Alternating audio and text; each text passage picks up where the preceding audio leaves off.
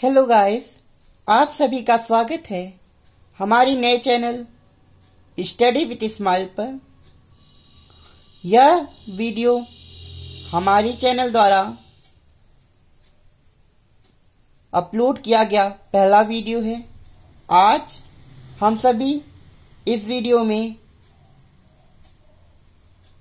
जौनपुर की हिस्ट्री के बारे में डिस्कस करेंगे, जौनपुर के इतिहास के बारे में डिस्कस करेंगे। आशा करता हूँ कि आपको यह वीडियो ज़रूर पसंद आएगा और आप हमारे चैनल को लाइक और सब्सक्राइब करना नहीं भूलेंगे। अगर आपको यह वीडियो अच्छा लगे तो यह वीडियो दूसरों को भी शेयर करें। चलिए, बिना देरी किए हुए वीडियो की शुरुआत करते हैं। सो फ़र्स्ट ऑफ़ ऑल हम जिस प्लेस के बारे में डिस्कस कर रहे हैं हमें उसका लोकेशन पता होना चाहिए। तो चलिए जौनपुर की लोकेशन समझ लेते हैं कि जौनपुर की लोकेशन आखिरकार कहाँ है। तो जौनपुर एक छोटा सा जिला है यूपी में और यह बॉर्डर टच करता है। आगे मैं आपको मैप के माध्यम से दिखाऊँगा कि जौनपुर की असली लोकेशन कहाँ है। चलिए मैप को देखते हैं। तो आप देख रहे होंगे कि जौनपुर बॉर्डर टच कर रहा है आजमगढ़, सुल्तानपुर, प्रयागराज, जो पहले इलाहाबाद के नाम से जाना जाता था, संत रविदास नगर जिसे बदोई कहा जाता है, वाराणसी और गाजीपुर। इस मैप में आपको क्लियर दिख रहा होगा, जौनपुर इन सभी शहरों से बॉर्डर टच करता है, सुल्तानपुर प्रतापगढ़, प्रयागराज, संत रविदास नगर, वाराणसी, गाजीपुर, आजमगढ़। तो यह जौनपुर की लोकेशन है, उत्तर प्रदेश में। ठीक है? चलिए आगे बढ़ते हैं।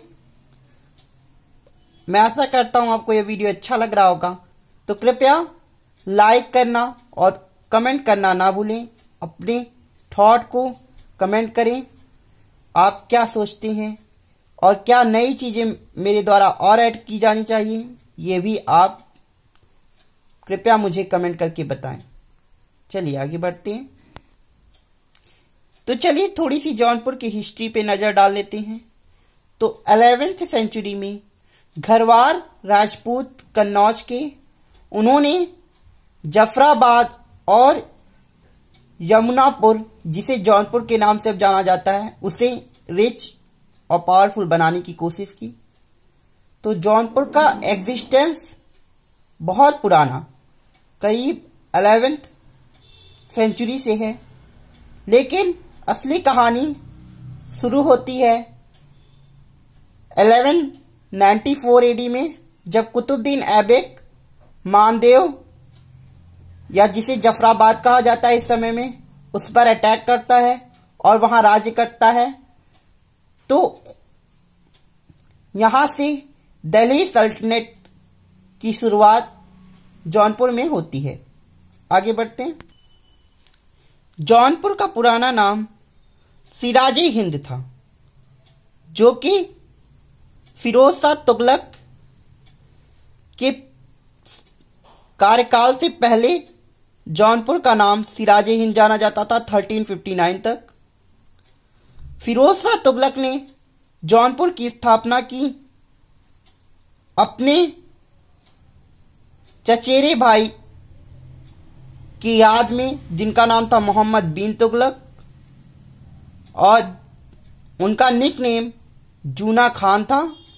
तो जूना खान की याद में फिरोज खां शाह तुगलक ने जौनपुर की स्थापना की 1359 में। और ये जूना खान कौन था? जूना खान था मोहम्मद बिन तुगलक। ठीक है? चलिए आगे बढ़ते हैं। 1388 में फिरोज शाह तुगलक ने मलिक सरवार को एज अ गवर्नर अपॉइंट किया इस रीजन का। 1389 में मोहम्मद महमूद शाह सॉरी महमूद शाह, जो फिरोज शाह का बेटा था, उसने गद्दी हासिल की। उसने सरबर ख्वाजा, जो कि उस समय उनके साम्राज्य में एक मंत्री की पोस्ट पर था। 1393 में उसे मलिक अल सराक का टाइटल देते हुए जौनपुर का गवर्नर बनाते हैं और रूलर बनाते हैं। चलिए आगे बढ़ते हैं बढ़ते हैं और आगे यही सरबर ख्वाजा, सर की डायनेस्टी का फाउंडर बनेगा। चलिए आगे बढ़ते हैं। देखते हैं। सो, सरबर ख्वाजा या मलिक अल सरक ने जौनपुर को अपनी कैपिटल बनाया और यहाँ से राज करना शुरू किया। उसका रीजन इटावा, बंगाल तक, इटावा से बंगाल तक और विंध्याचल से नेपाल तक था। मलिक अल सरक जो सरकी डायनेस्टी का फाउंडर था, उसकी डेथ हो जाती 1398 में। इब्राहिम शाह को उसकी डेथ के बाद गद्दी मिलती है। और यही इब्राहिम शाह है, जिसने अटाला मस्जिद की कंस्ट्रक्ट कंस्ट्रक्शन को कंप्लीट किया 1408 एडी में। अटाला मस्जिद की फाउंडेशन जौनपुर में फिरोज शाह तुगलक द्वारा रखी गई थी 1393 में। बट कंप्लीट की गई 1408 में।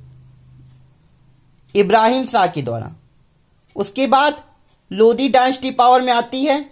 लोधी किंगडम का पावर चलता है फ्रॉम 1484 एडी से 1525 एडी तक। 1556 में बाबर अटैक करता है दिल्ली पर और इब्राहिम लोदी की हत्या कर देता है, मार डालता है उन्हें बैटल ऑफ़ पानीपत में। 1526 में बाबर दिल्ली पे अटैक करता है और इब्राहिम लोदी को किल कर बैटल ऑफ़ पानीपत जीत जाता है, जिससे लोदी डायनेस्टी की किंगडम पावर खत्म हो जाती है और मुगल डायनेस्टी का समय आ जाता है। मुगल डायनेस्टी के समय एक महान सम्राट अकबर मात्र 18 साल की उम्र में 1556 में गद्दी पे राज करता है क्योंकि उनके पिता हुमायूं की लाइब्रेरी के स्टेयर से गिरकर डेथ हो जाती है।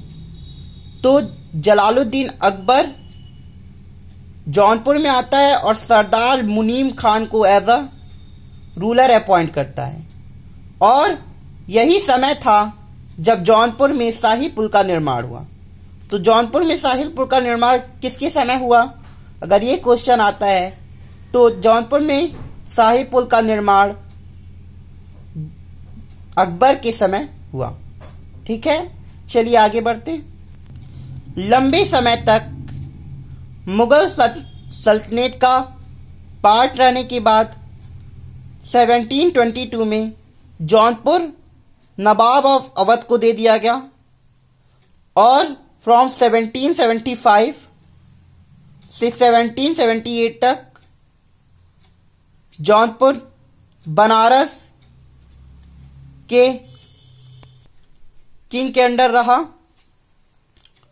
और पहली बार 1880 में एक डिप्टी कलेक्टरशिप स्टेबलाइज की गई और जौनपुर को एक सेपरेट डिस्ट्रिक्ट बनाया गया, एक अलग जिला बनाया गया। तो यह यह ओवरऑल जौनपुर की कहानी थी। आशा करता हूँ आपको यह पहला वीडियो हमारा पसंद आया होगा। आप अपनी व्यू और थॉट ज़रूर शेयर करें और हमारे चैनल को लाइक और सब्सक्राइब करना ना भूलें। धन्यवाद।